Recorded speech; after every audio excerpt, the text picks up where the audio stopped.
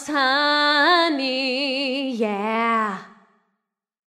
One happy birthday dot com.